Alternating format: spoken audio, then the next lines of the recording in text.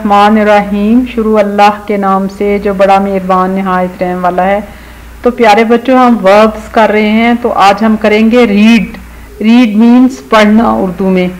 तो कॉम्प्रीहेंशन का मतलब होता है I understand what I read तो हमें, जो भी हमें पढ़े, उससे हमें समझ आना चाहिए, तभी उसका फ़ायदा है, वरना तो आप तोते को भी लफ्स रटा देते हैं। तो प्यारे बच्चों, जो भी बात पढ़ो, वो समझ कर पढ़ो। The more that you read, the more things you will know. The more that you learn, the more places you shall go.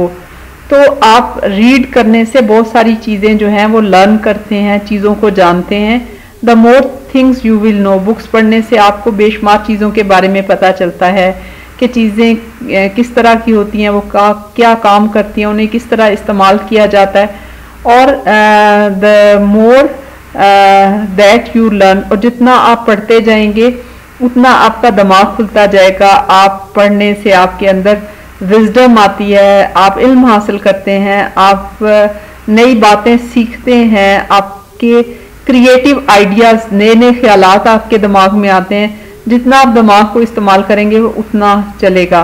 तो अब सवाल ये पैदा होता है कि व्हाट यू विल रीड आप पढ़ोगे क्या? यहाँ पे रुक जाएँ और सोचें कि खाली ये तो आपको पढ़ना सिखाती हैं, आपने दूसरी ज़िंदगी की और किताबें पढ़नी होती हैं जो आपको विजडम दें नॉलेज दें और क्रिएटिव आइडियाज़ दें। तो it is not about ideas it's about making ideas happen खाली जो है वो ख्याल का आना काफ़ी नहीं है दिमाग में, बल्कि उस ख्याल को अमली जामा पहनाना, अमल में लाना असल बात है।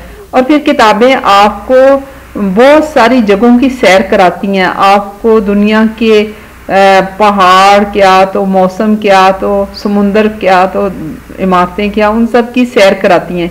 किसी ने खूब कहा है a book is a magical thing that lets you travels to far away places without ever leaving your chair कि किताब एक जादुई चीज़ है जो तुम्हें अपनी कुर्सी पर बैठे बैठे दूर मकामात की सैर करवाती है। तो I will read books here और there I will read books everywhere मैं किताबें पढ़ूँगा इधर उधर और हर जगह। लेकिन सवाल ये पैदा होता है कि कौन सी किताबें आप पढ़ते हैं? एक किताबें तो आप कोर्स की बुक्स पढ़ते हैं, जिसमें इंग्लिश मैथ्स और कुछ और किताबें पढ़ती हैं, जिससे आपको आखिर में एक डिग्री मिल जाती है कि हाँ आपने ये इम्तहान पास कर लिया है। अभी आप क्लास थ्री में हैं क्लास फोर में जाएँगे और क्लास फाइव में और इसी तरह इनशाला आप यूनिवर्सिटी तक पहुँच जाएँगे लेकिन ये आपकी रसीद होती है जो आप फ़ीस देते हो डिग्री। लेकिन आपको ज़िंदगी का मकसद कौन बताएगा?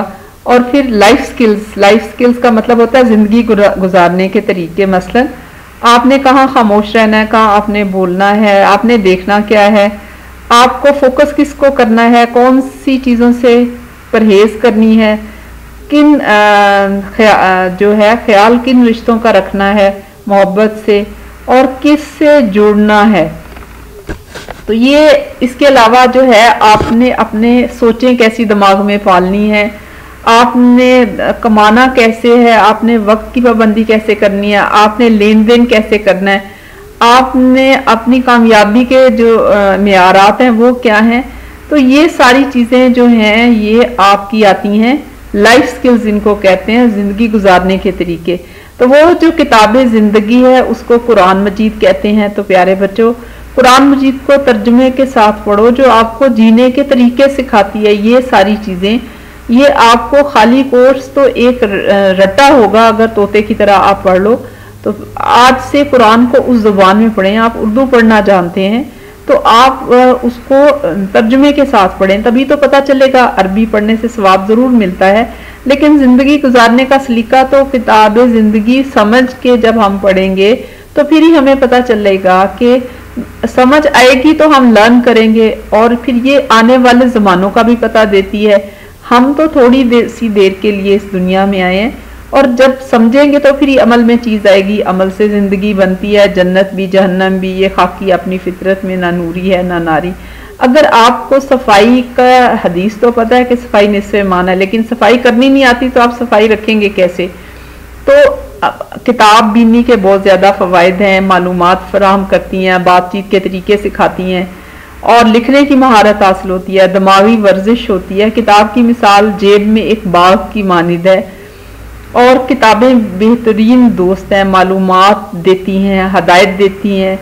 खुशी देती हैं और माला माल कर देती हैं। बेहतरीन पढ़ोगे, बेहतरीन बोलोगे, बेहतरीन सोचोगे। रोज़ किताब को पढ़ने की आदत डालें। एक किताब जो कुरान मजीद है, एक सीरत की। और प्यारे बच्चों, अच्छी स्टोरी बुक्स पढ़ो।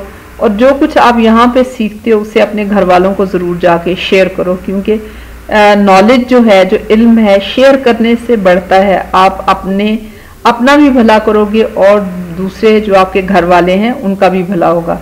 तो उम्मीद है आपको आज का सबक वर्ब रीड का समझ आया होगा।